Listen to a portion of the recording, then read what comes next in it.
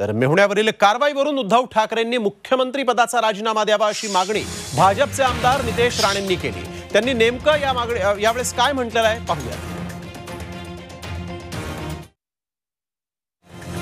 मुख्यमंत्र्यांच्या नातेवाईकांपर्यंत अगर अशा पद्धती रेड पडत असेल तर राज्याच्या मुख्यमंत्र्यांनी राजीनामा द्यावा नैतिक जबाबदारी स्वीकारून.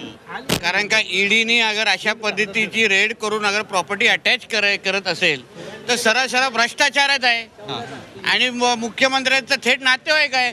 आता मुख्यमंत्री कशासाठी थांबले? राजीनामा द्यावा त्यांनी. नाही पण नाना पटोले म्हणतात सुडाची कारवाई आहे. अहो सूडबूड हे नंतर.